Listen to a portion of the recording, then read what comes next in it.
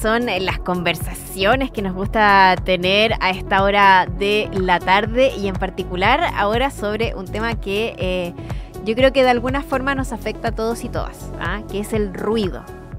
¿Le ha pasado a usted eh, estar afectado por el ruido a lo mejor de una, fiesta eh, que está muy estridente o por automóviles o algún tipo de vehículos que pasan y hacen muchísimo ruido como las motos o las conocidas mosquito. Bueno, de todo eso vamos a hablar porque eh, con el fin de aumentar el control, por ejemplo, de las emisiones de ruido provenientes de fuentes fijas, el Ministerio del Medio Ambiente inició la consulta ciudadana sobre el reglamento para modificar esta normativa. Fíjate que actualmente hay cerca de 150.000 fuentes emisores y en torno al 50% de las denuncias que llegan a la Superintendencia de Medio Ambiente corresponden justamente a este ítem. Del ruido queremos conversar con el jefe del Departamento de Ruido, Lumínica y Olores del Ministerio de Medio Ambiente, Igor Valdebenito, a quien le damos la bienvenida a Todo Tiene Su Ciencia. ¿Cómo estás, Igor? ¿Cómo estás, Emilia? Gracias por la entrevista.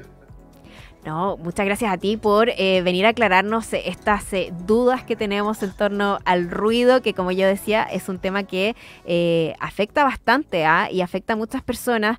pero hablemos particularmente a propósito de esta consulta ciudadana, ¿cuáles son estas fuentes fijas que emiten el ruido y que se busca de alguna forma regular, no? Mira, las fuentes fijas son, se puede decir, toda actividad productiva que está emplazada en un lugar fijo. Mira, por ejemplo, es una termoeléctrica, por ejemplo, es una industria, un taller, pero también es una discoteca, es un bar y es una actividad de construcción. Es una definición bastante amplia, como te digo, es, cualquier actividad, no sé si llamarlo productiva precisamente, pero productiva, comercial, de esparcimiento, que está eh, establecida en un lugar fijo en, el, en el territorio.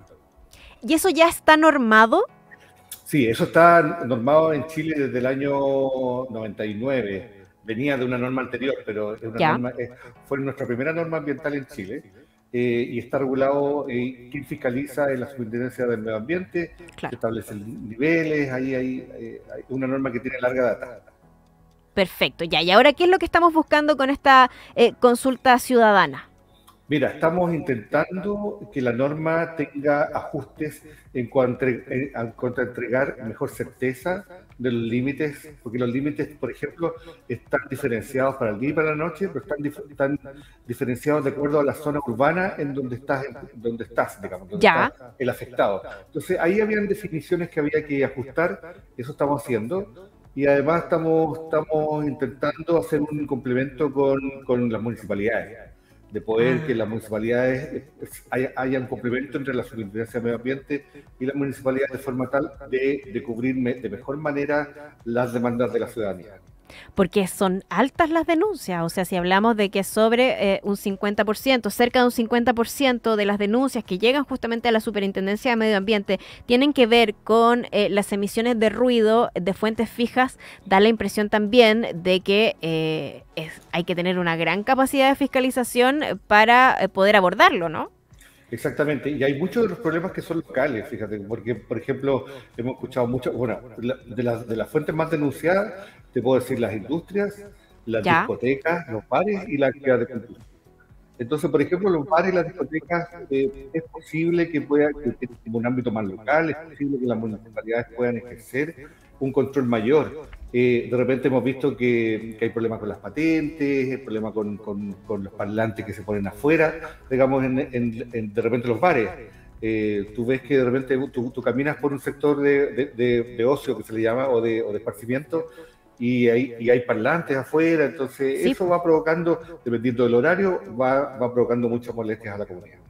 Ya, y eso es importante también porque obviamente esta norma establece diferentes niveles, me imagino, en torno, por ejemplo, a lo que se puede emitir como ruido durante la noche, durante el día, en zonas urbanas, en zonas rurales. ¿Cómo se define eso también? Mira, en la norma se definen cuatro zonas urbanas que vendría siendo, te lo voy a simplificar, una, la zona residencial, la zona comercial, la zona con industria inofensiva, por así llamarlo, y la zona de industria exclusiva.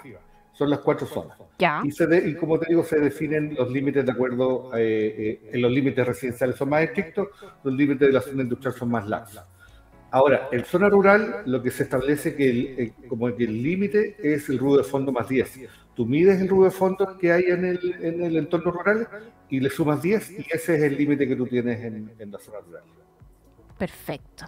Ya, claro, porque es evidente que hay una, una diferencia por las características propias que tiene, por un lado, cada una de estas eh, de estas zonas, pero también el día respecto a la noche, porque evidentemente emitir ese ruido que emiten particularmente las fuentes fijas, como tú decías, pero las industrias en la noche, claro, podría generar un... Y los, límites en la noche son más estrictos, eh, obviamente. Claro. Y, y hay digamos, estudiado cuáles son las principales afecciones, por ejemplo, que eh, uno puede enfrentarse por estar expuesto a ciertos niveles de ruido, más allá de lo que puede ser solamente el oído, ¿no? Claro, pero hay algunas otras afecciones. Hay algunas otras que, que declara la OMS. Ahora, esto hay que tener cuidado porque tiene que ver con una exposición prolongada. Ya, importante, claro. Sí, tiene que ver con el estrés, tiene que ver con el con insomnio, pero hasta afecciones cardiovasculares. Entonces, ahora, eh, lo, que, lo que está más estudiado es el impacto del, del, ruido de las carreteras o de los ferrocarriles, porque, porque ahí hay, hay, estudios mucho de más larga data y, de, y, con exposición más prolongada. En ese sentido, hay varias agencias internacionales, dentro de la OMS, que han establecido ciertos indicadores. Perfecto. Y ya, bueno, nosotros estamos pensando en eh, esta actualización, ¿no? De la norma de ruido eh, de fuentes fijas, pero eh, ¿cómo está la cosa, por ejemplo, en otras partes del mundo? ¿Hay una, hay una preocupación en torno a esta regulación? Mira, sí, sí, sí. en realidad la, gestión del ruido a nivel mundial empezó en los años 50, la década, en, en el siglo pasado. y si bien y se, se, comenzó haciendo en varias partes diagnósticos y, por otro lado la regulación. Eh, en, casi, en, Europa, por ejemplo, la directiva europea establece que los diagnósticos son obligatorios, los mapas de ruido, que se le llama que son diagnósticos para ver cuánto ruido hay en una ciudad, son obligatorios desde el año 2002 para las ciudades de más de 100.000 habitantes, parece. Nosotros, el Ministerio del Ambiente, estamos en una línea del año 2008 de, hacer, aunque no es obligación para nosotros, igual estamos haciendo eh, mapas de ruido desde el año 2008 en algunas ciudades. Aquí en Santiago vamos a entregar la segunda actualización del mapa, que se hace cada cinco años más o menos. Este año porque igual es súper importante tener el dato de cuánta población está expuesta a, cuántos, a, X niveles, digamos, por así decirlo. Y el mapa más encima es una representación gráfica donde, hace, eh, donde se convierte el ruido como una cosa gráfica, porque nosotros siempre decimos que el ruido es un contaminante invisible. Claro. Porque si lo, si lo pudiéramos ver, yo creo que estaríamos tan conscientes como otros tipos de contaminaciones. Entonces, en ese sentido, el mapa es una gran ayuda para que tú veas eh, dónde está más contaminado. Ahora, entre comillas. Ahora, los mayores ruidos siempre están vinculados con el transporte se dice que el 70% del ruido ambiental es, producto del transporte y del transporte la locomoción colectiva eh, es, la más, el, es el, más, el más grande aporte. si tú ves el mapa, eh, las vías que están más, más contaminadas, por así decirlo, tienen que ver con el tránsito vehicular y el tránsito vehicular que tiene que ver con transporte. Entonces, o sea, perdón, con, con locomoción colectiva. Entonces, en ese sentido, estamos apoyando como ministerio al Ministerio de Transporte en el tema de la electromovilidad por ejemplo, claro. Tú, tú, tú, tú no, sé si te has parado al lado de un bus diésel o un bus, o un bus, perdón, un bus diésel viejo y, y un bus eléctrico, son completamente diferentes. No, completamente distintos. La experiencia de ir arriba en torno al ruido también es completamente distinta. Entonces, en ese sentido, la, electromovilidad es la una de las grandes soluciones para el tema de ruido ambiental. Y este último mapa eh, del, del, ruido, ¿cuándo es la última medición o el último que ustedes lograron hacer? Hicimos, hicimos aquí en el Gran Santiago hicimos, la primera experiencia en el año 2011, ¿Ya? repetimos el año 2016 y ahora este año va, va a yo creo que el segundo semestre vamos a tener el resultado del, del, actualizado. Y debería haber ahí un, disculpa, un, un, impacto, me imagino, en torno a la llegada de los buses eh, eléctricos ¿En la disminución del ruido o es solamente que me estoy aventurando con eso? Sí, yo creo que hay que, ser bien, bien cauto porque el, porcentaje de buses eléctricos todavía no es tal como para, como para, como para incidir en, en, la cantidad, pero, pero vamos hacia allá, en algún momento lo vamos a, notar. Además, los buses eléctricos están digregados en la ciudad, entonces igual eh, han ido, se, han, ido, se han ido esparciendo.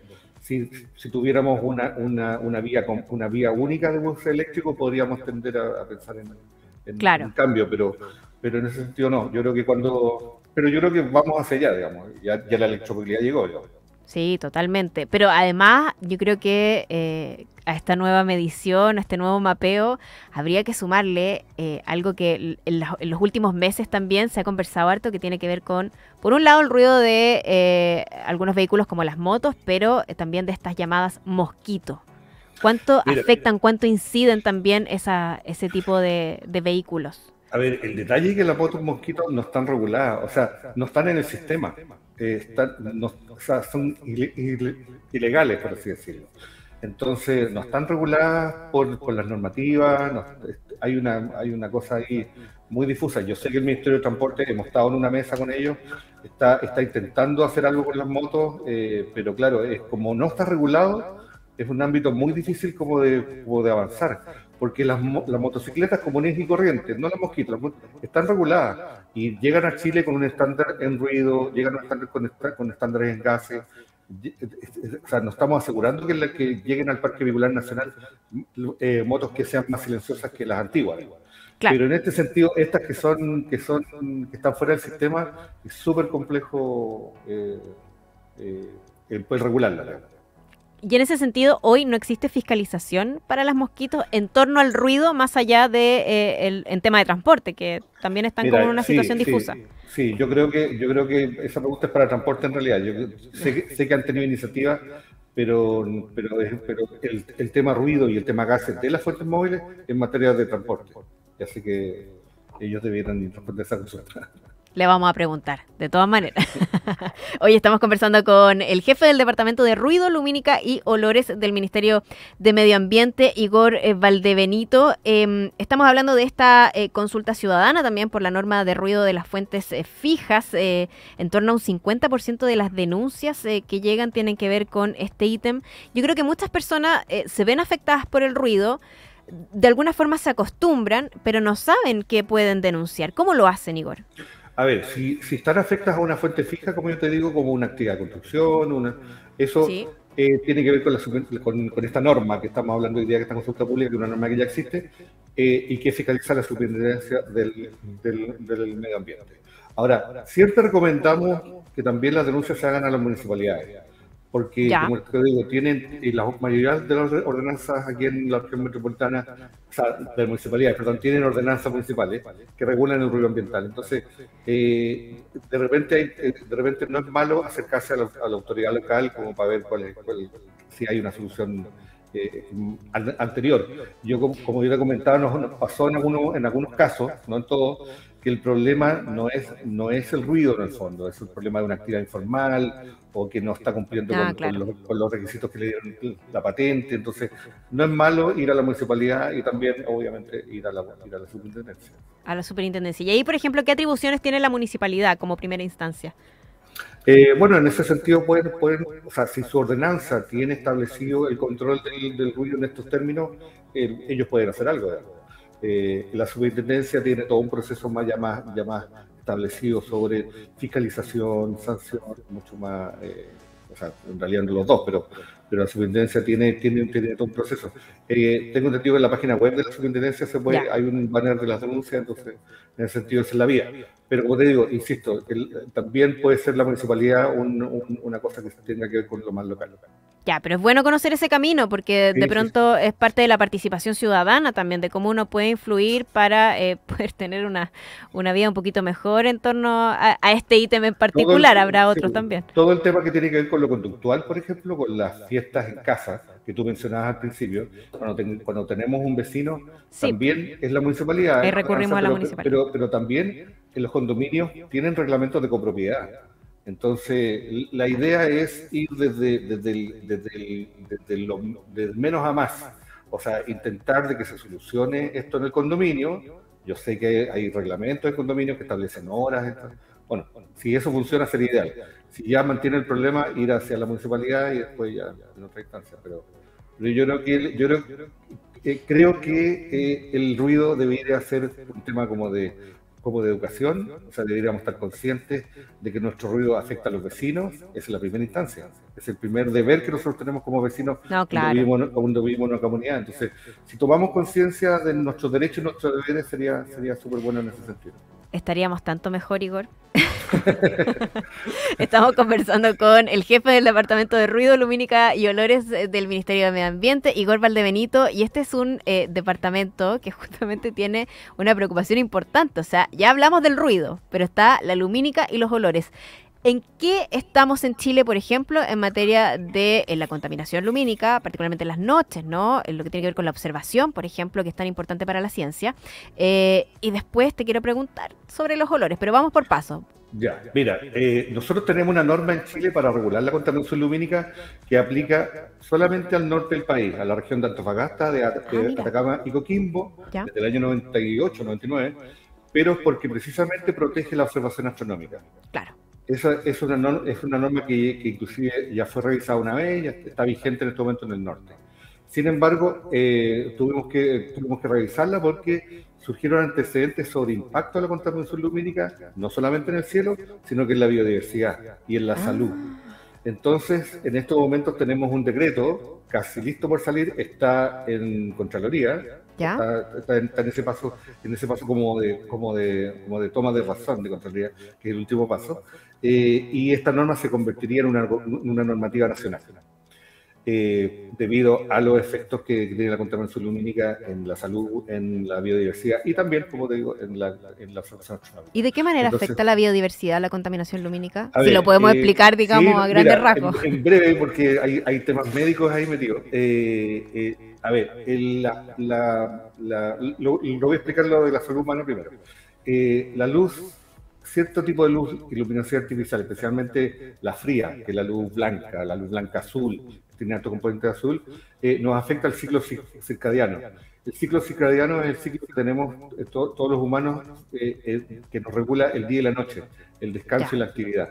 Entonces, el cuerpo está hecho, tiene, tiene, una, tiene una, una, hormona que es la, que la, que la melatonina, ¿sabes? Que, nos, que nos regula el tema del, del descanso en la noche. Cuando estamos expuestos a, a, niveles altos de, de, luz blanca, el cuerpo piensa que es de día y nos va provocando muchos problemas. Es por eso que los celulares, los celulares tienen, tienen un modo noche. Modo nocturno, claro. Un modo nocturno. Bueno, eso es general. Entonces, también, entonces está, ese mismo efecto muy parecido le produce a todas las especies eh, y también las especies se, lo que les pasa es que se desorientan se, sienten atraídas de la luz blanca y se, y se, y se, desorientan y muchas veces caen al suelo y mueren. O a veces, o a veces caen y son presa de, presa de, los, de, los, de, los, de los depredadores. Nos pasa mucho con una, con una especie que está, está en, en, categoría, en categoría de conservación en, en el norte, cerca en Iquique, que es la golondrina de mar donde, donde están sufriendo alto impacto eh, gracias a la, o sea, el producto de la contaminación lumínica, no, no gracias. No, claro. Así que, así que en ese sentido necesitábamos esta norma que, que como te digo, eh, está pronta a salir y se va a convertir en una norma nacional donde vamos a regular el tema de la contaminación lumínica. Ahora, la fuente de contaminación lumínica principal es, el alumbrado del de exteriores. Estamos hablando del alumbrado público, el alumbrado de carretera, el alumbrado de las industrias. Entonces, eso vamos a Eso es lo que se va a normar es lo que se va a normar. Y sencillamente es, cambiar, como yo te digo, de una luz fría a una luz más cálida. Algo que parece tan sencillo, pero claro, un cambio a nivel eh, nacional que tenemos que abordar para poder eh, minimizar los impactos que tú nos estás detallando, que yo desconocí absolutamente, pero que bueno saberlo también. O sea, súper interesante tener esta conversación. Ya, y el último eh, de, las categorías que tienen en este departamento son los olores. ¿Cómo estamos en materia de olores? A ver, tengo una buena noticia que es un poquito tardía, un poquito tardía, pero tenemos la primera norma, ya tenemos desde febrero, tenemos la primera norma de olores en Chile. No teníamos ninguna norma de olores en Chile. Tenemos la primera norma desde febrero que regula el sector porcino, el sector de los, de los, Con comunidades que han sido profundamente afectadas. Exactamente. Eh, toda la gestión que nosotros eh, empezamos el año 2012 de olores tiene que ver con Freirina. ¿Te acuerdas de Freirina? Sí, claro, por supuesto. Ella, eso, eso gatilló, gatilló una gestión que se ha ido pavimentando hasta el momento que ya tenemos una norma.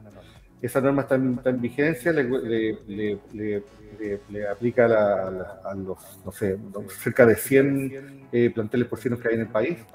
Así que estamos súper contentos por eso. Y estamos elaborando, también tenemos en pública una norma, la norma de olores, pero también es un gran problema. Perfecto. Ya, o sea, estamos, estamos avanzando en temas de, eh, regulación.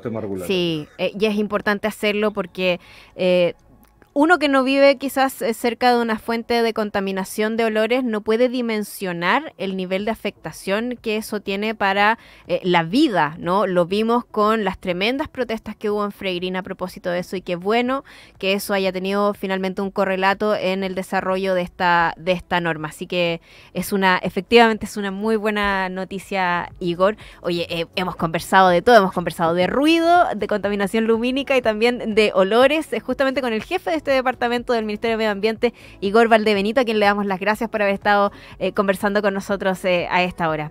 Muchas gracias a ti por la entrevista. Que estés muy bien, muchas gracias. Chao, chao. Chao, chao. Buscando respuestas con rigor científico. Todo